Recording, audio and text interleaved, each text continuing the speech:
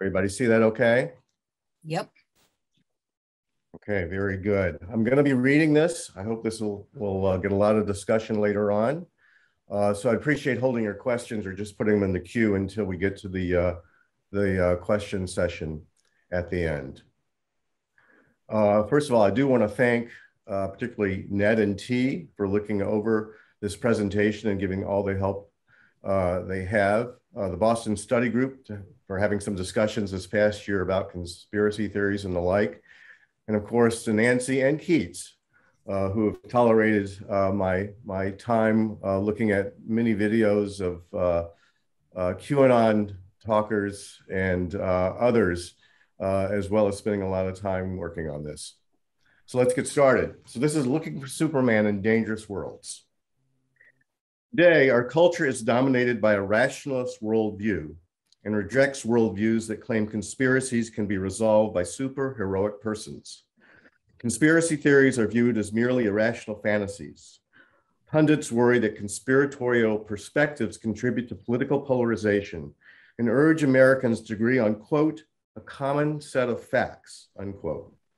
We tend to dismiss many of these worldviews as misguided and ridiculous, or the product of uneducated and deranged minds.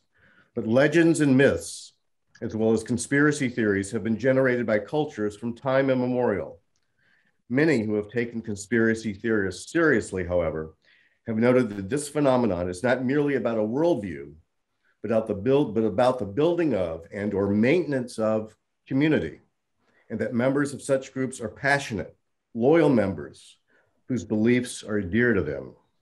Our task today is to make sense of these portrayals of conspiracies relative to the creation, enhancement, and maintenance of person communities. Essentially, how is it that such beliefs, such perspectives make sense for people? Historically, many of these worldviews help develop communities of people who reformulate a world that has become dangerous, threatening their lives and the survival of their way of life, their culture.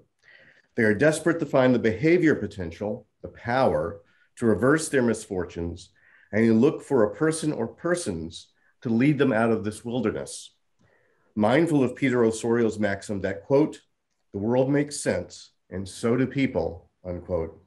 We want to understand how conspiracy theories and conspiracy communities become vehicles for change for communities, as well as vehicles endangering those very communities. We will look initially at some of the scholarship about the superhero and the psychology of conspiracy thinking. Following that, we will utilize the major parameters of communities to help us describe and understand a conspiracy community we will apply these concepts to describe a millenarian community generally, and specifically QAnon as a current example of a millenarian movement. Finally, we will use the descriptive approach to clinical case formulation and quote, drop the details, unquote, of the QAnon worldview to examine the patterns and seek an understanding of the QAnon community.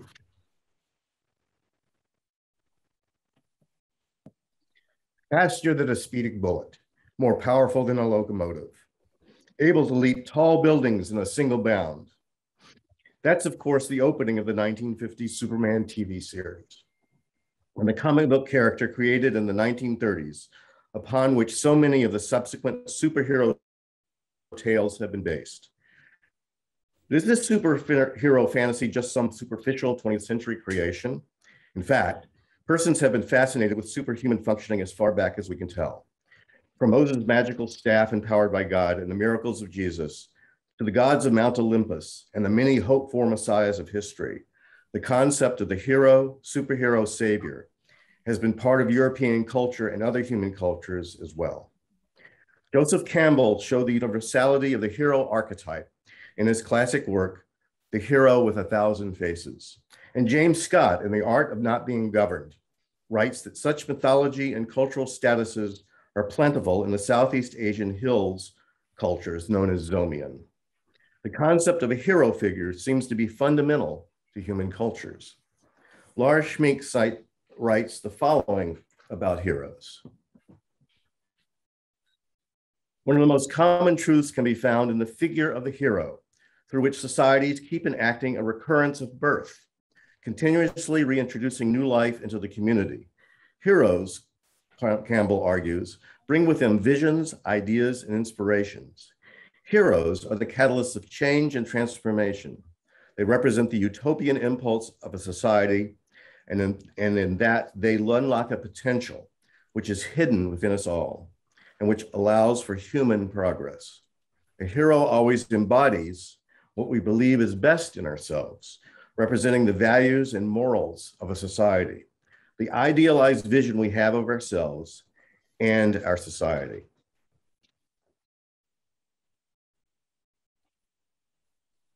Indeed, sometimes the world needs saving. And this idealized vision of a superhero can help inspire a community to protect its existence, which brings us to January 6, 2021. Depending on your political and cultural worldviews, approximately 500 individuals either attacked our pillars of democracy or rebelled against the corruption of the federal government. Driven not only by politicians with a range of motivations to overturn the, overturn the 2020 election, but also by a conspiracy theory that the Democrats stole the election, a loose coalition of groups, including Donald Trump supporters, Proud Boys, Boogaloo members, Oath Keepers, Three Percenters, ex military, and QAnon members, as well as individuals wearing t shirts and carrying flags espousing white supremacist and neo Nazi views, assaulted and overran Capitol Police in an apparent attempt to stop the certification of the election. But what was the purpose, the significance of their actions? For some, it was probably creating havoc, breaking the rules, defying authority.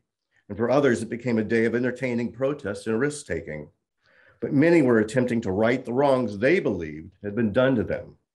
Whatever elements of veracity the conspiracy theories had that incited the mob's passions, one cannot ignore the types of worlds these folks came from and the belief by many that they were true patriots attempting to restore values lost by America.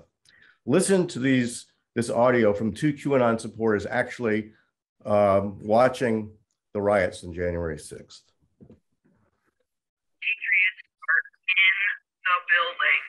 It's beautiful.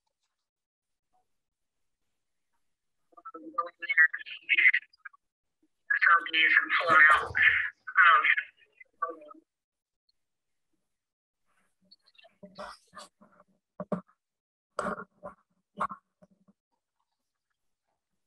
Many, arrest, many persons arrested for this attack claimed they were invited to stop the steal by Donald Trump. The president declared there was sufficient voter fraud to throw the outcome in doubt. But such a claim could not have been had, could not have had the power it had without several major conspiracy theories that had been circulating for years.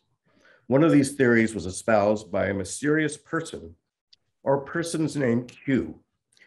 The QAnon theory claimed that Democrats were controlled by a group of elitist pedophiles, including Hillary Clinton and George Soros, who were sex trafficking children and drinking their blood to extend their own lives. Trump was chosen by God, a true savior, a superhero, to save America and the world from these evil individuals.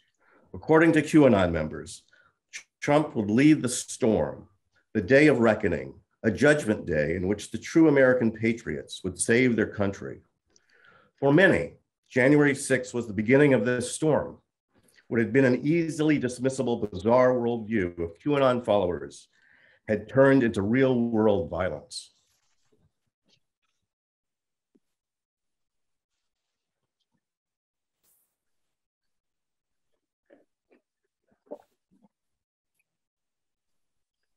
Charismatic leaders saviors, heroes, and superheroes have emerged throughout history and in many different cultures. Marginalized, oppressed, threatened groups will characteristically develop myths about a new world to come, about an outsider, a renegade who is powerful enough to save the community from the dominance of another political community. And these myths tend to lead to prophecies and persons casting others as the rebellious saviors, and not infrequently lead to actual rebellion and even change. In his classic work, In Pursuit of the Millennium, Norman Cohn summarizes the multiple millenarian movements arising in Europe between 1100 and 1500 AD. By the way, the term millenarian is derived from the belief that there would be a second coming of Christ who would reign for a millenary or millennium, that is a thousand years, of peace and blessedness. Cohn goes on to write, quote, revolutionary millenarianism drew its strength from a population living on the margin of society, peasants without land or with too little land even for subsistence, journeymen and unskilled workers living under the continuous threat of unemployment, beggars and vagabonds. In fact, from the amorphous mass of people who were not simply poor, but who could find no assured and recognized place in society at all. These people lacked the material and emotional support afforded by traditional social groups. Their kinship groups had disintegrated, and they were not effectively organized in village communities or in guilds. For them, there existed no regular institutionalized methods of voicing their grievances or pressing their claims. Instead, they waited for a prophet to bind them together in a group of their own. Cohn points out that major community disasters, such as war, environmental disasters, famine, economic upheaval, and disease, including the Black Death, accompanied millenarianism during this period. A prophet or savior would arise in these populations and recast the world as one that can change, and that the mission of these disenfranchised individuals was to follow the prophet and transform the world into one without sin, a world of love, prosperity, and peace. These prophets recast the people as having a powerful place in the world, and the mission coalesced the group and focused them on solving these apparently unsolvable problems. Cohn goes on to write, quote, those who attached themselves to such a savior saw themselves as a holy people and holy just because of their unqualified submission to the savior and their unqualified devotion to the eschatological mission as defined by him. They were his good children and shared in a supernatural power. It was not only that the leader deployed his power for their benefit, they themselves, so long as they clung to him, partook in that power and thereby became more than human, saints who could neither fail or fall.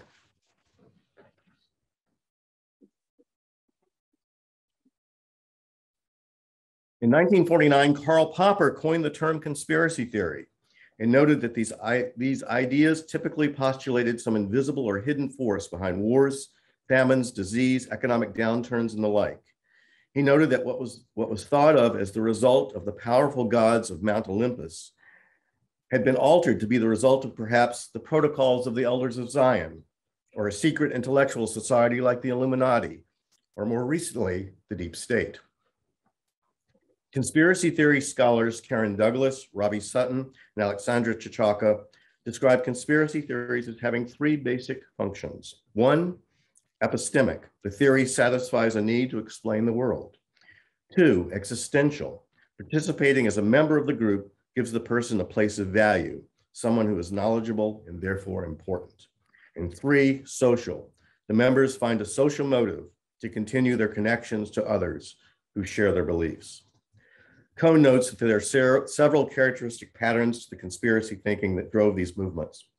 These include a Manichean or dualistic view of good and evil forces, a strong correlation between catastrophic social hardship and the rise of such movements, and the search for and choosing of a savior or charismatic leader. Elitist community members, seen as having betrayed the community, whether they were the clergy, the nobility, or royalty, were cast as the evil forces destroying the community. Frequently, Jewish community members were accused of various renditions of the blood libel, the kidnapping of Christian children to use their blood in the making of Passover matzah.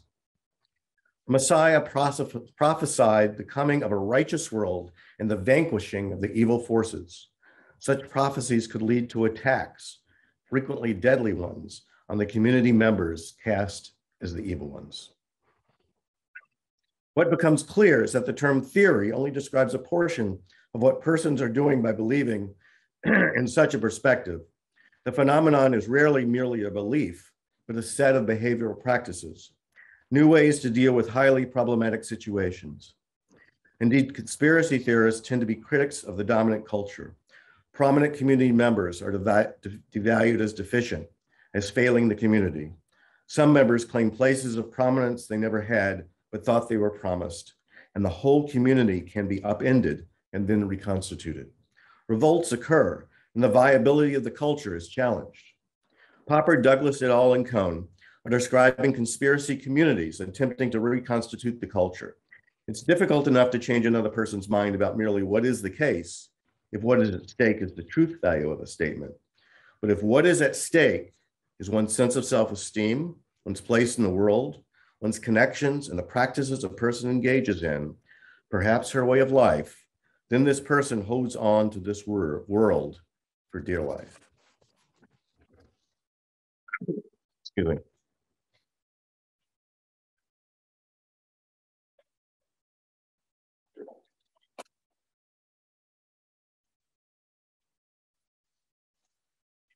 Descriptive psychology utilizes parametric analysis to describe and understand communities and cultures. Developed originally by Peter Ossorio and expanded by descriptive psychologists Anthony Putman, Joe Jeffrey, Mary Roberts, Ray Bergner, CJ Peek, Wynn Schwartz, and others. The parameters of community and culture will be described in relation to a particular paradigm case. A paradigm case, as Lori mentioned last night, is one in which persons familiar with a particular entity and X would state, quote, if there ever was a case of X by God, this is one, unquote. We will let QAnon stand for a paradigm case of a millenarian conspiracy community. Ossorio's description of cultures will be our approach to describe and understand conspiracy communities. The parameters of a culture are the following where CU stands for culture, WOL, way of life, equivalent to culture, M, members, S, status, SP, social practices, W, world, L, locution and language, CP, choice principles. And MI, Michigan mission, which is not usually uh, in this set of parameters, but there'll be an explanation when we discuss mission as a parameter here, why it is included. I will utilize each of these parameters by noting what characterizes what characteristics of QAnon will become the parametric value under each particular parameter. Be aware, aware that one community, QAnon, is proposing and acting as an improved community relative to the dominant community. The dominant political community, as Q members see it, is corrupt, and QAnon proposes to follow their savior and alter the makeup of the dominant community by cleansing the old community of these corrupting forces. QAnon makes the claim that it is they who espouse and act on the real American values and have the standing to degrade the folks who have been the evil forces and ostracize them from the community, thus returning the community to its once righteous position. Members. Members of a conspiracy community identify themselves as such and are recognized and accredited as members by other community members. Not infrequently, a pattern emerges that these members are also members of certain other more established communities. In QAnon, many members tend to espouse a judgment day, a day of reckoning. Many religious folks would find such ideas to be familiar and comforting. Statistics show that 55% of Q members make under $75,000 a year, and only 30% have bachelor degrees or better. Both level of income and education are major measures of worth in American society. Consequently, many members may tend to feel marginalized or devalued by the more dominant communities. Although the overlap between militia groups and QAnon is not established, a research question is whether there is a disproportional overlap between the two groups. In addition, there is some data suggesting, suggesting that 44%, 44% of violent actors in the January 6th attack had experienced significant trauma in their lives. Note the increase in QAnon membership in March 2020 when the COVID pandemic became a reality in the United States. Persons living in dangerous worlds may have a strong tendency to join conspiracy groups. Statuses. A status in a community designates a place or a position a person has in relation to others in the community and designates the behaviors or practices in which he, in which he is eligible to participate.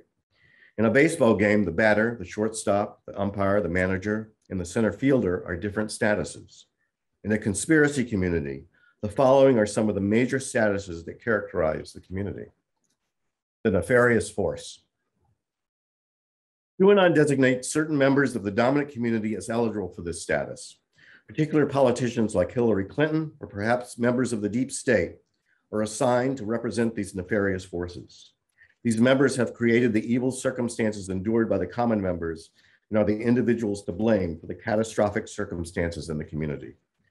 QAnon members assert that the evil members not only sex traffic children, but drain and drink children's blood for the health benefits of adrenochrome.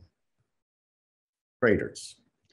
By violating their trusted positions in the dominant community, nefarious forces are also traitors, not merely enemies of the people. Traitors steal behavior potential twice, harm the community twice. They do it once by failing to act as members in good standing, and they do it again by secretly undermining the core values and practices of the community. Betrayed members. QAnon claims that as American citizens, they have been betrayed as well by the nefarious force. The elitist political actor is generally an insider who has been entrusted with power to serve the interests of the dominant community, but has undermined the choice principles of the culture in the community, and instead has exploited the community for her own evil self-interest. Savior hero. The superhero Superman is foretold to save the community and return it to the utopia utopia that the nefarious force has taken from the people. For QAnon, Donald Trump is cast as the savior. He is described as planning and plotting to save America from the swampy, pedophilic deep state with the help of the military, QAnon members, and other patriots. As noted by Cohn above, Trump as president affirms a kind of holiness, elevating the worth of his followers. Victimized members. Community members are victims of the nefarious force. For QAnon, the members, the, the members are the children who are abducted, trafficked, and their blood drained by the nefarious force. Adult members also regard themselves as victims of the conspiracy woven by the evil members. They see themselves as having had their freedoms constrained by the nefarious forces. True believers. These tend to be the core members who eat, drink, and sleep QAnon. They see themselves anointed by Donald Trump and gain enhanced standing or status by virtue of being in such a position. Others may also be members who believe some of the values of the community, but not others. Members in the know, the true insiders. One of the unique qualities of conspiracy communities is the notion of secrecy. Members claim to be, quote, in the know, unquote, and claim the special status that the rest of you have missed. We really know what is going on, and don't be fooled by what you see before your eyes. The world is not as it seems. Q, whether a person or persons is cast as a government insider with the highest security clearance. Note the status enhancement this is for many members of Q who are encouraged to, quote, do the research, unquote, and take pride in uncovering levels of the conspiracy against the good guys. Grifters, false prophets. Conspiracy communities are vulnerable to persons wanting to exploit the members' needs for meaning, safety, and increased behavior potential, generally by posing as the savior and exploiting the relationship for personal gain. QAnon gear has been monetized, and no doubt the income from these sales does not necessarily support the community. True believers can be fooled and will re redescribe apparent traitorous behavior by the savior to preserve the savior's status Note the example of Donald Trump. Stop the steal and the money, money donated to Trump as a result. Some grifters will be identified, and such a position is a violation of community standards of QAnon and will be grounds for elimination from the QAnon community. Others may not be, be identified by an inside QAnon member, but more likely by a critic outside QAnon. Other possible statuses. Data from Pew Research suggests that about 15% of Americans give some credence to QAnon worldviews, but we would not expect the number of true believers to be that high. Instead, Kathleen Belew, describing the community of white power Americans, distinguishes different levels of statuses, and as a, as, a, as a comparison, describes a range of levels of involvement that various members might have in the Q movement. This is Belew's circle to membership. One, the white power true believers, quote, who go to white power churches. They marry other people in the movement. They have extended family and marital relationships within the movement and so forth, unquote. Level two, people who might go to a Klan rally or regularly read Klan newspapers and who make financial contributions. Level three, a more diffuse circle of people who don't themselves give money and might not go to a rally, but who regularly consume ideas and materials. And number four, and this is the one Belew is much most, most worried about in the white supremacist movement because the size of this group. The circle of folks where, quote, somebody might not read something that's marked as a conspiracy theory or content from a Ku Klux Klan chapter, but they might agree with some of the ideas, especially if the sources are family relationships or social relationships.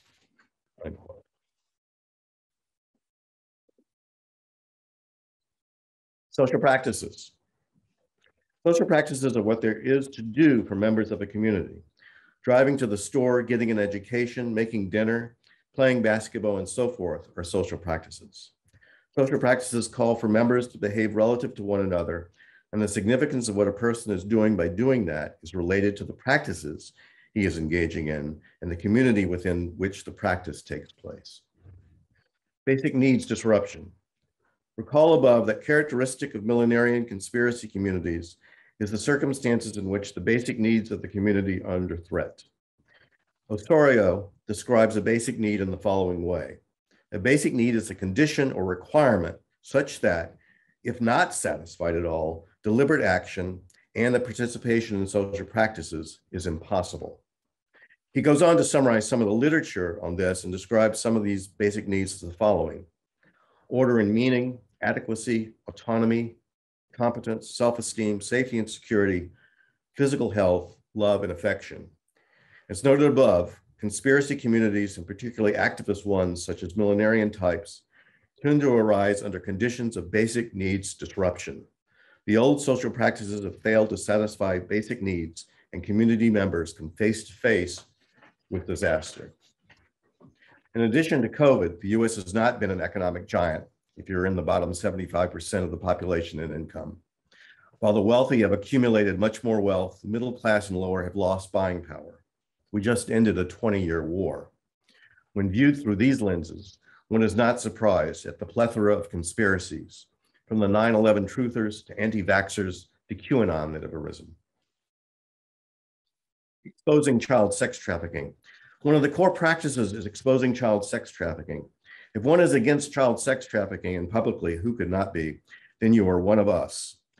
QAnon sites will not infrequently list reports of arrests of child sex abusers. This is one of the reasons QAnon has grown as large as it has. The interest fee, the entrance fee is cheap.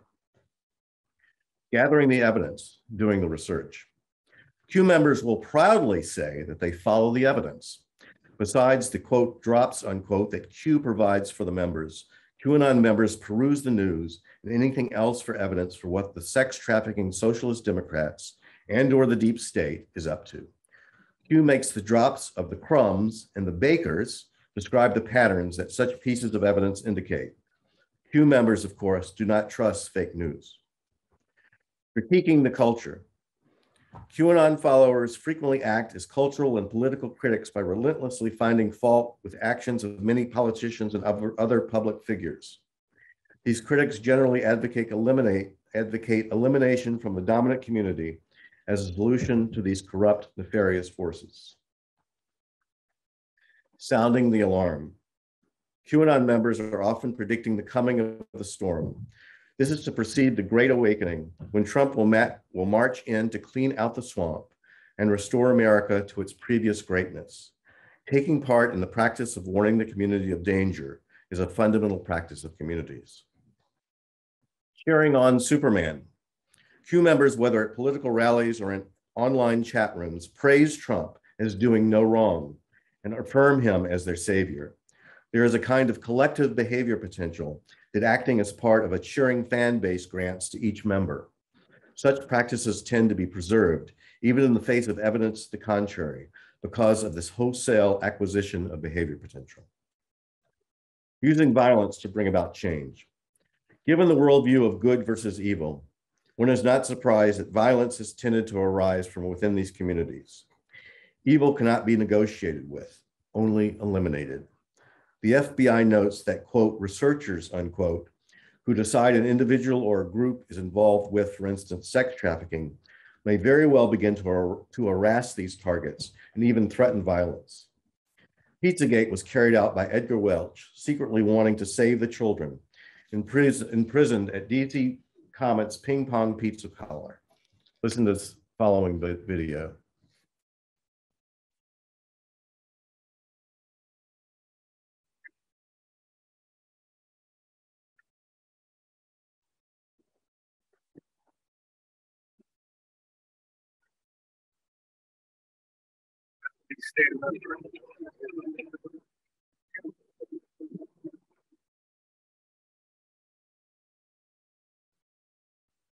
By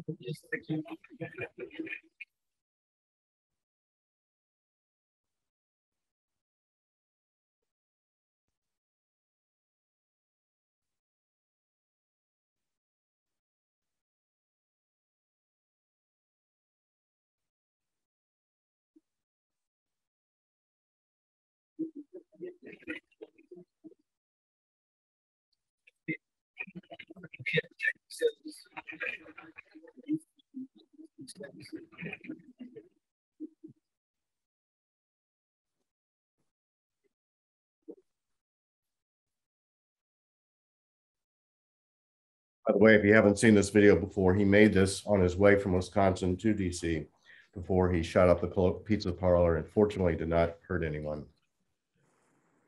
In addition, what cannot be dismissed here are several other factors, such as the number of ex-military and law enforcement personnel who took part in the January 6th uh, insurrection. World. The world of the community is the totality of what the members take to be the case, the totality of what is real for the members. Conspiracy communities are distinctive in that they see the world in a particular way, a way that conventional communities regard as peculiar. Note the following. Q drops in world reformulation.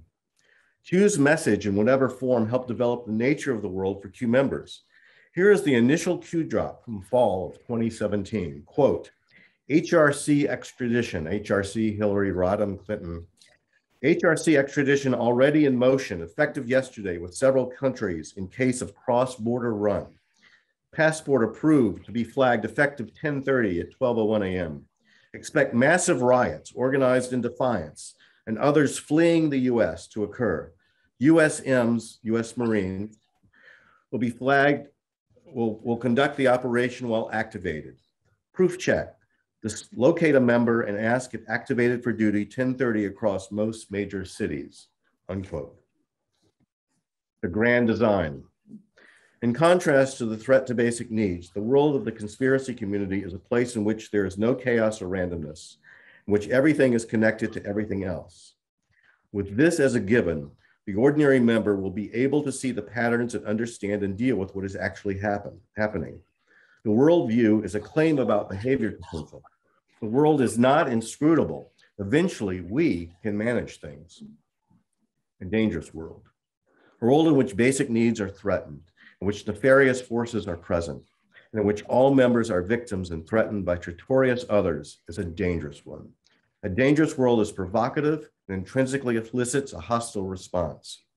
Listen to this audio from a former QAnon member you you have just this huge group of people that that feel that their country is in danger their children are in danger um, their freedom is in danger and so they feel like they have to go to war and they have to fight to get things back right. A dualistic world. Good does exist but exists because of a powerful savior who will arrive to restore the rightful order and save the people it's good versus evil. There is no in between. You're either with us or against us. Disguise, secrecy, and deception. It's a world in which nefarious forces deceive you that the news is fake, that the only truly trusted source is the savior hero. This view, of course, encourages members to turn away from the dominant community members towards members of the conspiracy community. This view also tends to preserve the community when predictions and prophecies fail.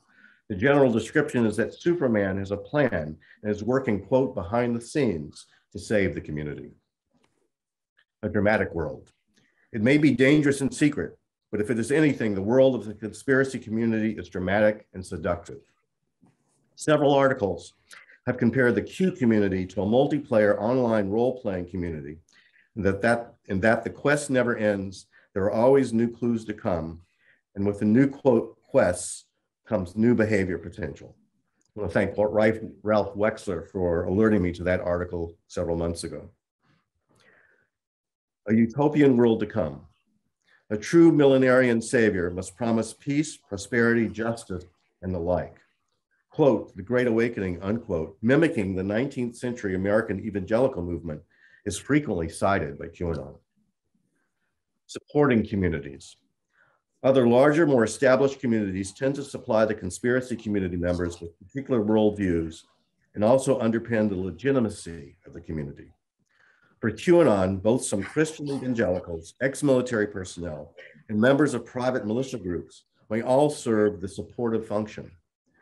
Roberts notes how new practices, new worlds, new communities to survive must be affirmed by others, by the existing community members of already established communities. Language. He was distinguished by a variety of inside concepts and ways of describing them. As mentioned above, such language as drops, crumbs, bakers, the storm, the great awakening, also red pill normies, and many other locutions characterize QAnon. Red pill comes from the Matrix movie and indicates willingness to learn the hidden truths of the world. And normies are anyone who does not belong to Q. And a side note here, here, a supportive online community movement that developed to support misogynistic young men in the early 2000s was using terms like red pill and normies long before QAnon. Choice principles. We have already mentioned some of the choice principles of QAnon, including, quote, the children need saving, unquote, the deep state is hiding its plans for us, and the mainstream press is not to be trusted, a grand design of secrecy. WWG1, WGA, this is the motto of QAnon and stands for where we go one, we go all. Finally, satisfaction accompanies participation. QAnon gives every member the opportunity to seek the truth they say to do your own research to discover what is hidden, and then, as noted above, allows members even to harass others suspected of being part of the nefarious forces. Mission. Tony Putman distinguished communities per se from a more specialized community, the organization. The main distinction is a mission parameter that serves to prioritize the practices of the members of an organization toward a common goal. To describe a conspiracy community as an organization, however, would be misleading with regard to the level of overt structure and consistency of its practices. But what is clear about conspiracy communities is that each tends to work toward a common singular goal, a mission. QAnon's mission is to save the children and restore the United States to its previous state. The common person will again occupy a place of value, the people will again rule, and the culture will again favor the common citizen as opposed to the elite. QAnon treats its members as patriots whose mission is to join with Savior Trump to bring about a utopian community.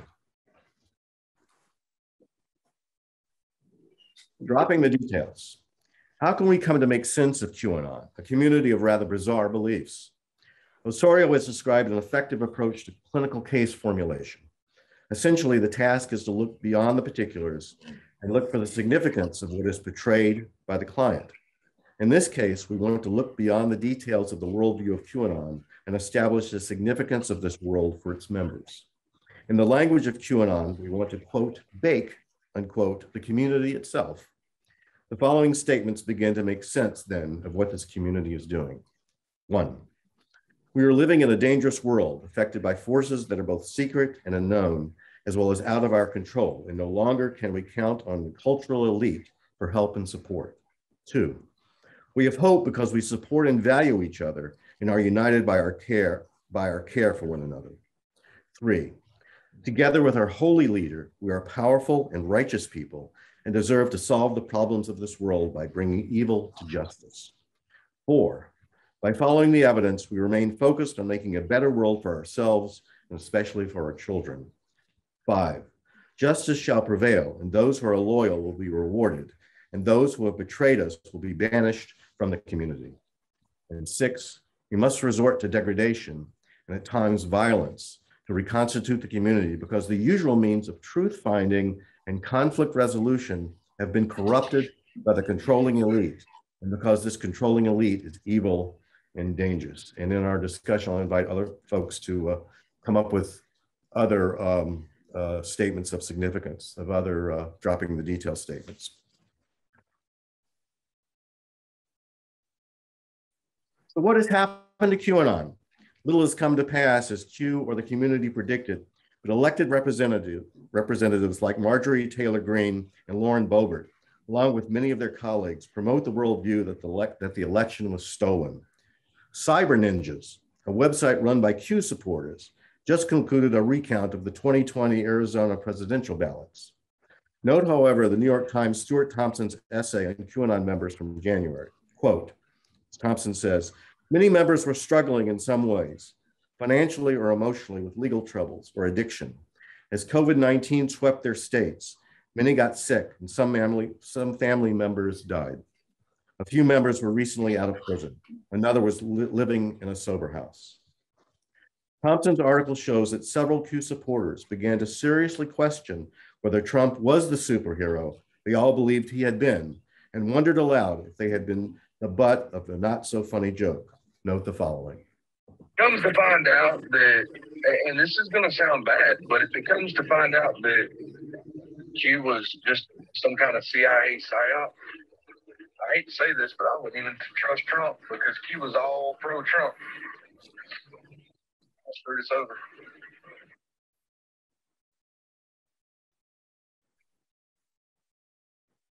Think of all the people that we follow and trust that, you know, have told us about Q and explained the drops. That's really the heartbreaking part.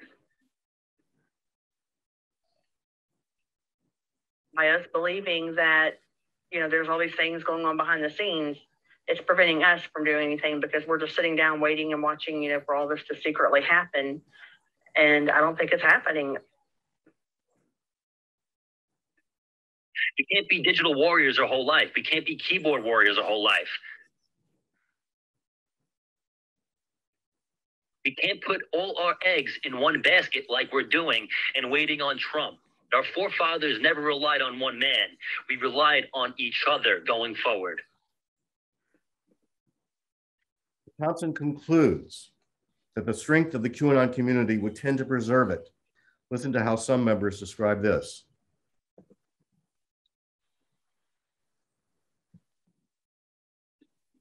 One thing Q did uh, did do was get us organized to come together to open our eyes to listen to and track what is going wrong with our government.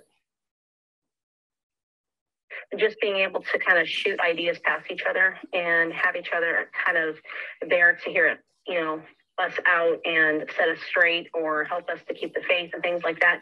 That has been a really big deal for me because I've been really going back and forth on stuff. So I want to just to thank you because this has actually made quite a difference for me. It didn't play out the way we wanted, but it showed that we can use we are powerful when we're together. I mean, it's it's created a whole new era. It's it's not done. It's far from over.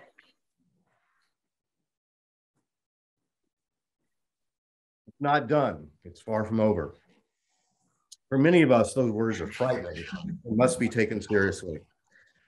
Timothy Snyder concludes that the insurrection of January 6th would be just the beginning as well. Quote, for a coup to work in 2024, the breakers will require something that Trump never quite had, an angry minority organized for nationwide violence, ready to add intimidation to an election. Four years of amplifying a big lie just might get them this. To claim that the other side stole an election is to promise to steal one yourself. It's also to claim that the other side deserves to be punished. History shows that political violence follows when prominent leaders of major political parties openly embrace paranoia, unquote. Charlie, I just want to mention we have just a little less than 15 minutes left. Oh, we're fine. I've got uh, one minute left and we can talk. Okay. Thanks, Lloyd. QAnon supporters, as well as a great deal of American citizens, continue to see government as a problem, as corrupt, even evil. The challenges of our era, era global warming, pandemics, very large wealth gaps, war, and, and the like, continue to foretell that folks may abandon a democratic republic and instead seek powerful autocrats to solve these major existential problems. Will the next person cast as Superman or Superwoman be far more organized than Donald Trump? Will this superhero be able to direct follow followers to destroy the next embodiment of evil? Snyder notes how totalitarian political communities characteristically develop violent practices over a period of time. But we do have choices. One choice is to seek out and silence the voices of bizarre conspiracy theories. The caveat, though, is that conspiracies do happen, politicians can be corrupt, and some governments should be changed. Moreover, a wholesale suppression of conspiracy thinking easily becomes a quashing of dissent. By taking the persons who espouse these worldviews seriously, treating them as making sense within their own worldviews, we give ourselves the opportunity to engage with our fellow citizens to solve these great challenges to our way of life. Recall Joe Jeffrey's talk from last year on Black-White Conversations as a contribution to this. But the mainstream media has focused, has rarely focused on what has driven American citizens to communities like QAnon. I hope this essay has helped give us insight, however, into the worlds of millenarian movements and QAnon politics, and will lead us closer to a future of partnering with our political adversaries to solve the great challenges of our era. Thanks a lot. Thank you so much. That was terrific. Uh, we are open now for Q&A, and I see one question in the chat from Cliff Johnson. So if you'd like to unmute yourself and ask the question. Oh, thanks, Lori. I was just kind of commenting. Um, thanks so much, Charlie. That was awesome. I feel much better about watching television now. thanks, um, Cliff. Um, just to, I think I can do it very. Watch. yeah, I'll be really quick. Um, would we call embracing conspiracy theories the same as becoming radicalized? Just a thought. And is there a useful distinction that you might make from your past work uh, on being a conspiracist versus a whistleblower? That conspiracists don't see themselves as conspiracists, but rather the status of whistleblower, possibly. Right. Uh, and then okay, when, remember both sides. Let me see. Yeah, the first one. I think when you you're talking about, it depends, you know, which perspective you're taking in terms of a conspiracy theory and radicalized.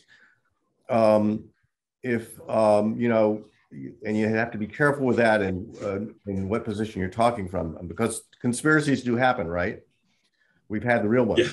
Well, just uh, you know, Jim Holmes taught me. I have to mention his name at least once a conference. That just because you're paranoid doesn't mean they're not really following you. Exactly. exactly. And um, and so and also you know a radical say it's radicalized would be uh, you know that would be a statement from more the uh, dominant outside community um, say you're on the fringe and so on. It's it, that becomes a, de- a, degradation of the community itself. Now, I'm not I'm not necessarily advocating for you know that, that it's great for Q to go and incite violent violence and participate. Not at all. What I'm advocating for is that in that in that you know you might find a few true paranoid individuals in the Q movement. In fact, there was a horrible situation a couple of months ago, I think, where a, dad had decided that his children had been infected with evil. Um, he was a Q follower, and that he killed them both as well as himself as a result. Uh, I think that's the by far the exception. I think you've got real people looking for, you know, uh, places of value and, and so forth, much like millenarian movements, and we need to pay attention to that. And there are a lot of people out there like that. Uh, the second part is that one of the inspirations, uh, Jane had asked me uh, tell me why you got interested in this. I said, well, I can, there's several things. Maybe in the discussion, I can talk about it. You'll allow me to do that. When I was uh, working on the whistleblowers last year, I ran across a video, several videos, uh, and I also, also, I guess, a feature length documentary uh, featuring a person by the name of Judy Mikovits. Anybody ever heard of Judy Mikovits? Um, She's a she was a researcher, um, microbiologist, uh, who uh, was part of the ant became part of the anti-vaxxer movement very strongly and, and the anti-masking movement. Um, uh, and when I saw this, at first she was acting as a whistleblower, and I thought, wait a minute, you know, this is for our stuff. This isn't doesn't fit my worldview. You know, this is out there. This is a problem. So it is clear that that that QAnon sees themselves as whistleblowers, as community whistleblowers. Um, uh, but they're not going. Remember, one of the the first thing the the real whistleblower does is go, you know, to the established institution that's there to try to correct these sorts of things. Q was already dismissed the established uh, institutions. They're no longer viable. They're all corrupt. Uh, so yeah, they're a kind of whistleblower, but there's a distinction to be made, I think. Well, thank you. Um, and one last point, if I could, I think the most important thing is, you know, we all think, how can we help people around us who may be falling victim to some of the conspiracies? Um, it occurs to me that there's a parallel here for therapy and um, what's been mentioned um, by work done by by Ray on self-concept change. That self-concept right. change is little and slow, and people have disconfirming evidence about themselves that shows positive things, but they disconfirm it and invalidate it. And right. you see the same thing with conspiracy theorists that they invalidate information that doesn't fit their existing model, their belief system. Uh, so asking them to deconstruct that, maybe the, the, the barrier that makes sense is that they don't, they're being asked to um, dump all of their status with their existing families and communities and dump the new statuses. And that's a big, you know, uh, in the judgment diagram, they would not do that. So that's why maybe this there's this impossibility of getting them to look at competing news sources that would quickly debunk all of that. Do you find that parallel and with self-concept change? My original one of the original thoughts before I got into conspiracy theories was I kept getting bothered by listening to pundits say, all we need is a common set of facts. And I heard Pete in the background saying, what the hell is a common set of facts? we all live in one world, right? But different realities. right. And and then it occurred to me more, and more especially reading Cohn's stuff on millenarian movements, we're not talking about merely uh, something in the K parameter, right? We're talking about a whole community, right? Where your life is embedded in this. And Q is a is really a, a very strong case of this. One of the things I didn't talk about with Q is is how many families are have have been um, estranged from one another as a result of Q. Uh, that people won't, you know, can't they they find their you know their parents have become Q members. They can't even talk to them anymore. Right. Um, so it, it's uh, it's it's it's incredibly strong, and, and, I always like to be an introduction to Ray. So I'm glad you brought that up. Well, and maybe yeah, their, maybe their AOC is broken, but the last point is, is there yeah, let me move on because we've had, uh, we have another couple of questions and we only have five minutes. Um, also, do you, Charlie, want to stop share so that people can see everyone or see you? So uh, uh there's a hand raised for Anne first and then Wynn, and then we probably are going to have to stop. But what we uh, do is leave the um, computer, the, the Zoom on during the 10 minute break so people can keep talking who would like to do that. So Anne, you're on next. No, I was just clapping. Oh, okay. Okay, Wynn then. You know, one of the things I think that um, is uh, very troubling uh, in a kind of longer point of view is that, um, you know, we're dealing with you know, people who are socially isolated primarily or people with um, a kind of obsessive uh, and or paranoid bent in terms of organizing particular facts as, as an initial. Um, in the history of, uh, of all of the um, established religions, um, all the long-term religious trends, work that you know sort of centered at the beginning of culture and personality theories and, and anthropology, are the fact that these conspiracy theories are also parallel to you know like the crisis are crisis cults. They begin as, as crisis cults out of crisis cults, if they assume enough power and enough uh, in groups, we end up with something that is no longer considered a cult, um, but a religion. And, um, you know, you can look at some of the belief structures, the organizing belief structures of almost all of the fundamental religions. And you're going to see something that is that bears more than a family resemblance to this cockamamie stuff. And so I think the question in some ways that's sort of alarming is at what point do we see these ideas uh, become a theology that then has a dominant feature within a culture. And, um, you know, God help us. So by that definition, do, do religions fit this paradigm case for conspiracy theories? Uh, they almost always do is in their origins. Um, uh, probably one of the, you know, they're, um, they almost have always, uh, whether we look at uh, Native American religious groups, um, uh, groups that came out of, you know, the Abrahamic traditions, uh, um, the shamanic traditions, they almost always, at least in least the histories, begin with um, a, a, very powerful crisis cult um, that involves a certain degrees of indoctrination in which one of the first rules, and this is a rule that, that, uh, that Mary Douglas argued about the nature of kosher, is that the abominations of Leviticus is that you don't have truck with things or views that don't fit your initial uh, worldview. And that um, uh, it's the isolation of a worldview with an enforced requirement that you shall have no other gods before thee that uh, tends to keep these things in place if you can control the population, which is to say, if you can control your children and you know okay we how have are the kids uh, of these people who are the kids of these people going to become so uh, ned i don't know if you want to answer that or go to the next. We have one more. We have two minutes left uh, and we have one raised hand here. How do you want to do you want to answer this or do you want to go to the next question? You mean charlie not charlie Ned? asking me. Oh i'm sorry it's charlie. Oh i don't know why i said that. Yeah charlie we're often confused. uh, uh, no, go ahead to the next question. Okay, Lane, you're on. If you want to unmute. Uh, thanks very much. Yeah, I had occasion to ask Pete this question.